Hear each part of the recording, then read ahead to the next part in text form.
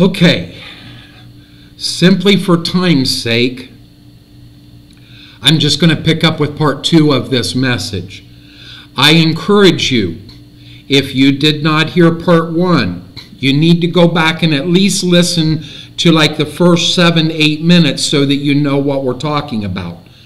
The text, which I'm not going to reread again, is the Gospel of John, chapter 1, verses 1 to 5, and then verse 14. Okay? And the storyline goes from an experience at the restaurant, in the restaurant ministry. And um, so you go back to part one and listen again if you didn't listen to that, so that you at least know the format that we are working from. We got into the discussion of the finite versus the infinite. Why did God create Lucifer? Why did God create evil? You, you see, there's some things, and my response to my professor friend was, I, I really don't. I don't know the answer.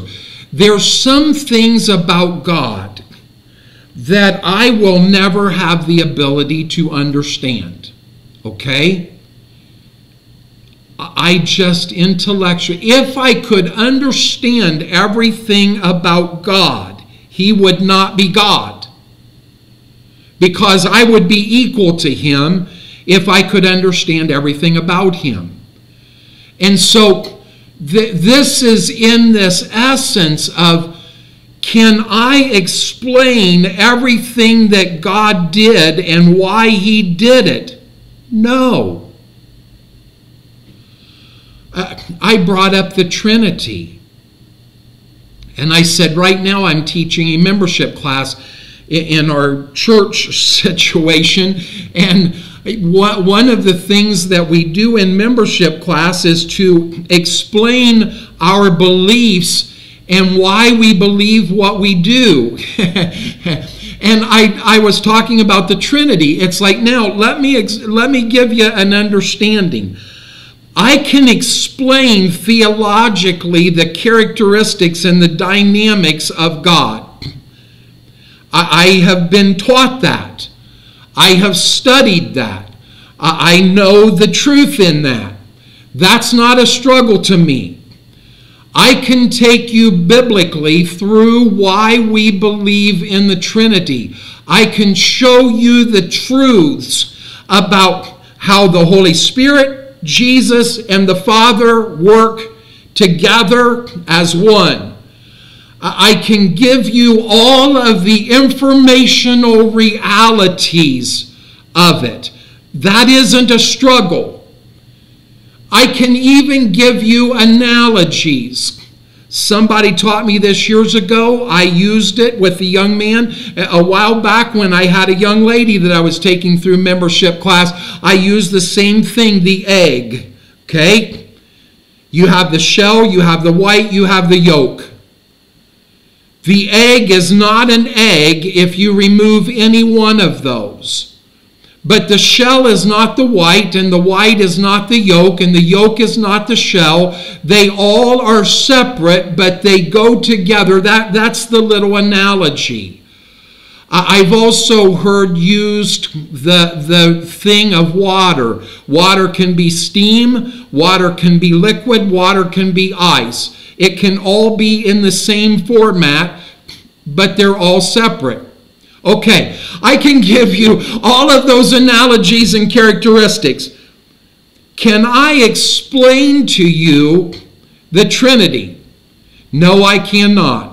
And neither can anyone else. I remember a few years ago, and, and he was a good guy. I'm not, I'm not picking on him. A wonderful professor, teacher of theology.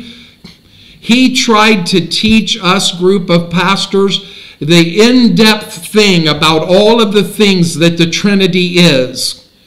You know what that did for all of us? I had pastor friends coming up to me and saying, Mike, I didn't understand any of that. And I was like, don't be worried. I didn't understand it either. So, what can I do in my finite? I can give you all of the information of the Trinity. But if you want me to explain the awesomeness of God, you're going to be waiting a long, long time for me to be able to do that. Why is that? Because I am finite and he is infinite. So my professor friend brought up Kabbalism, which says that we just simply don't have the ability to understand the infinite. Therefore, there's no sense in us trying because we can't grasp it. I smiled at him. Praise God. Praise God for teaching me what I'm not smart enough to understand. That happens quite often in these conversations that take place because I find myself saying stuff that I didn't even know that I knew. Can you associate with that? Go back again how God has set all of this up by taking my seed away from me. And even before that, bringing a conversation between my son and I that laid the groundwork into this and all of these things that has taken place. And I said, But you see, that's where Christianity changes the game. Because all of the other systems leave you recognizing that you can't grasp the infinite. Let me tell you, I talked to them about a counselor that told me a while back to find something much bigger than me that I could put into perspective I walked out in the nighttime and stood on my sidewalk and looked up at the sky. They say that in our ability of vision that the most that we can actually perceive is some 11 miles of vastness. I looked at the sky, what I was able to perceive, and you immediately felt like this little speck. Why would God take notice of me? Who is this God that would take notice of me? I, I'm insignificant. People get upset at me for saying, Why does it matter whether anybody cares or not? I'm insignificant. Stay with me. Now, all we are seeing is just a very, very small portion. We can't see all of the vastness of the, we can't grasp it. There are trillions of stars. And if you want to get into this mind boggling reality in the book of Psalms, it tells us that this awesome, wondrous God knows every single one of them by name. I told them I've probably got 10 friends in the whole wide world, and I have trouble remembering their names. My professor friend laughed and said, I'm with you in that. I'm the same way. You want my finite mind that can't even remember 10 people's names to be able to grasp they they guess, and that's all it is. It's a guess because we don't know. They guess that what we know about is that there are some 300 trillion stars. And if God was standing beside you and you pointed up to the sky and said, Which one is that one? Do, do you wonder why I am in such awe of him? And why I think, why in the world would that God want to come and dwell in such a broken vessel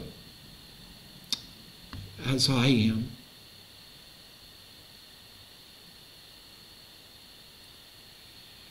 So might just settle it.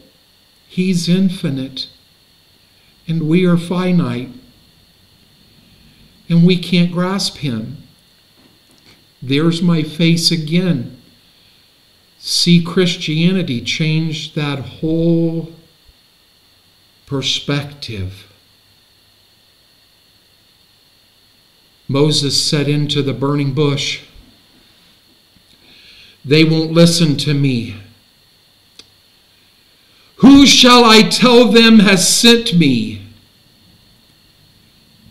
And out of the burning bush, Almighty God speaks and says, I am that I am. You tell them that I am sent you. Ego eimi. I am. I am all there is. I am all there was. I am all there ever will be. You don't need anything else but me.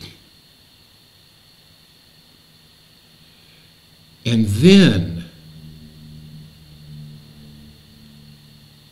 some couple of thousand years later, ego eimi stepped out of the infinite and became finite.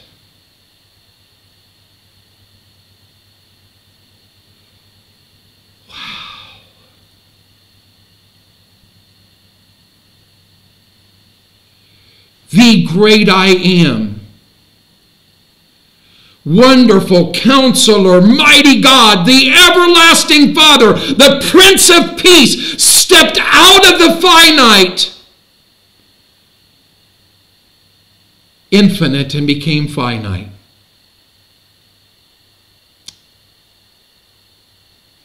And he showed us now, did that mean that we can magically just understand everything about the infinite? No.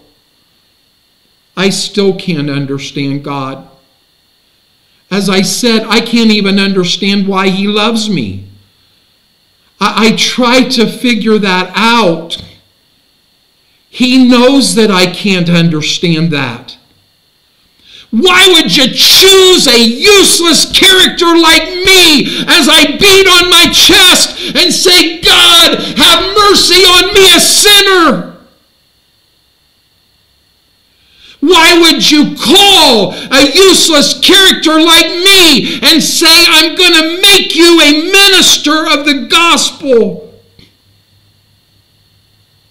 His choices are infinite and I am finite.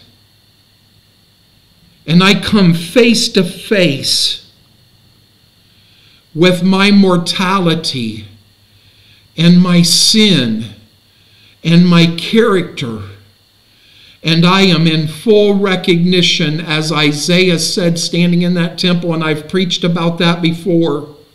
I am undone.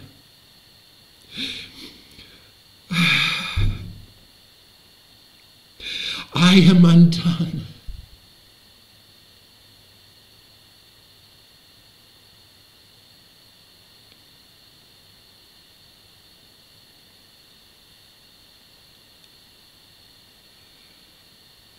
I can't I can't grasp him.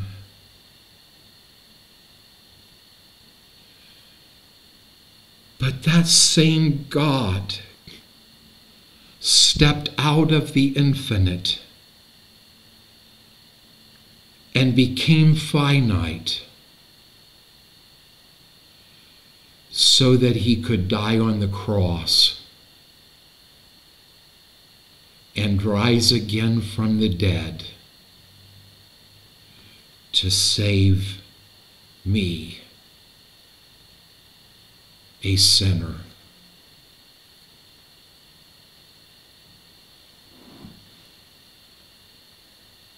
The professor got that look on his face. He had never thought about that before. In all honesty, I had never tried to explain that before. I've thought about that reality, for it is a part of my theology. But see, when we talk about Jesus coming to the earth, yes, he was all man, but he was also all God.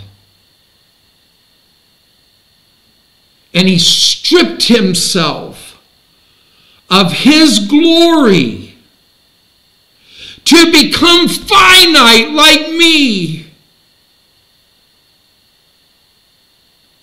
And in so doing, he revealed things about the infinite that we as human beings could have never understood otherwise.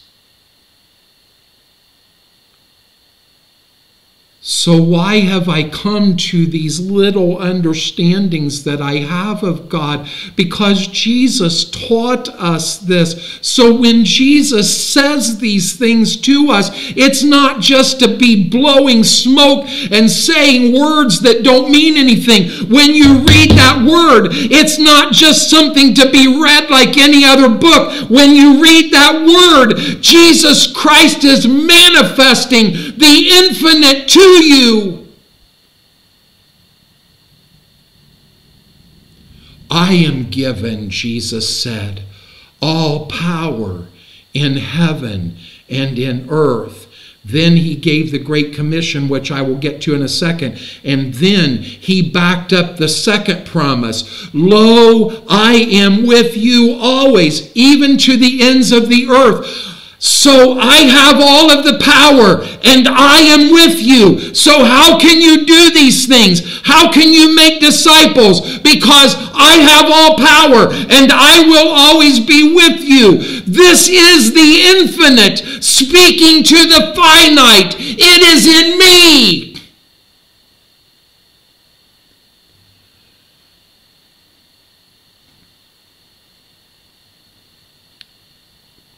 Of late, it, it isn't. And if you have thought that it is, it, it isn't. It isn't a struggle in my faith. I know exactly who God is. I know exactly what God can do. In the middle of all of this situation that has been going on, I have made this statement.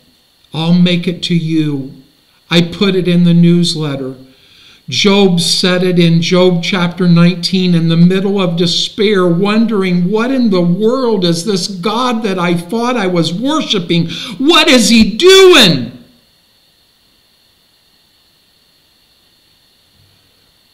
I know my Redeemer liveth and I'm going to see him.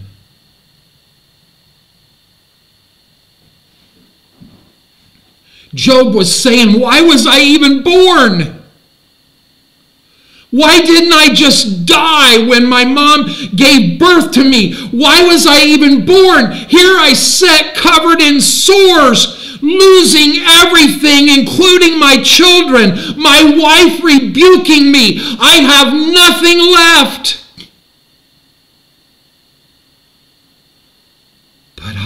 know my Redeemer lives. See, my struggle hasn't been over my Redeemer. My struggle has been over myself. I love my Redeemer. He's all I've got. I don't have anywhere else to turn. I lay alone in the middle of the night in a room all by myself. So few people care. I say with Peter, when Jesus said, Will you also go away? And Peter said, To who will we go? You're the only one that we've got. The question hasn't been about God. The devil has spoken into my spirit, and I've poured water on it and let it blossom.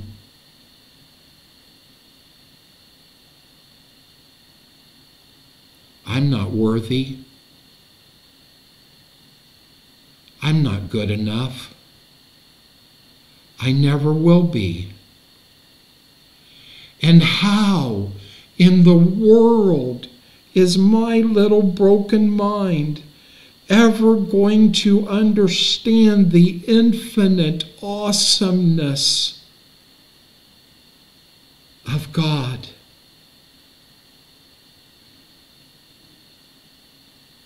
And without that reality, we can't. But Jesus Christ came and suddenly the finite and the infinite was brought into a glimpse. In him, Philippians says, dwelt all of the fullness of the Godhead. So, can I still uh, understand? And that's what I was saying to them. If you're counting on my absolute wisdom and understanding, you're in trouble.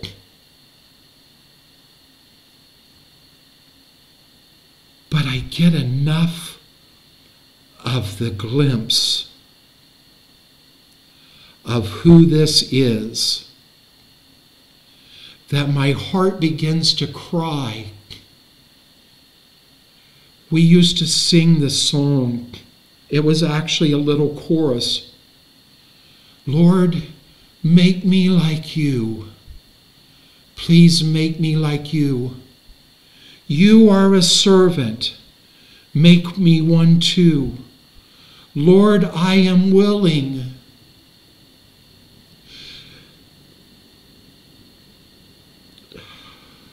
I'm sorry. I'm trying not. Lord, I am willing. Do what you must do to make me like you, Lord. Please make me like you. I'll never be infinite. I'll never be all knowing.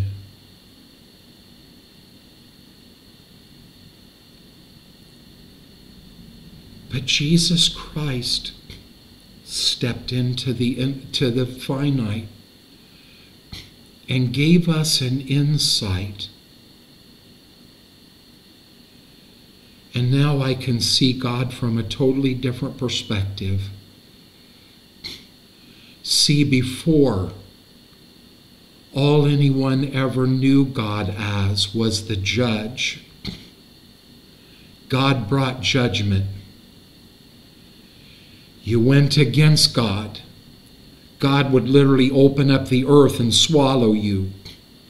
That's what the Jews knew. That was their perspective. Then suddenly God brings grace onto the scene. And now God looks at a broken, useless vessel like me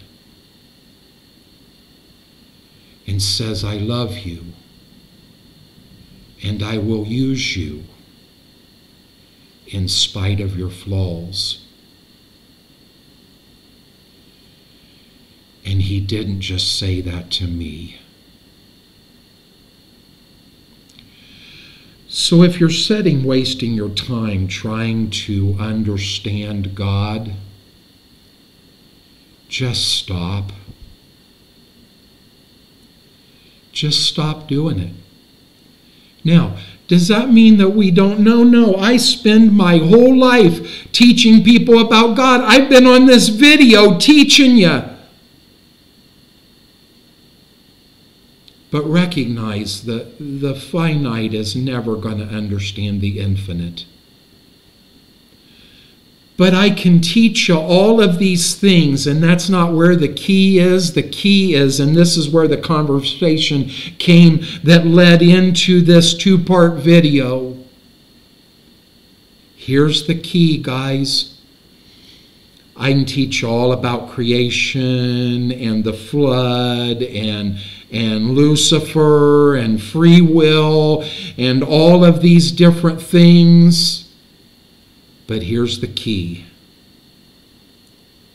Jesus Christ stripped himself of his glory. The same great I am who spoke from the burning bush stretched his arms and died on the cross to save someone like me and like you too. I hope in the depths of what can be just absolute, overwhelming theological that we brought a real truth that made you just stop. My professor friend, who is not a Christian, was walking out of the restaurant and he leaned over and whispered into my ear. That was really interesting. Am I exalted because I could make a theological discussion interesting? Jesus set it up, and made it happen. And he took this person that has been in the midst of absolute despair. And to coin my waitress's term, made me beam. Because how can you talk about the glory of Almighty God and not be beaming.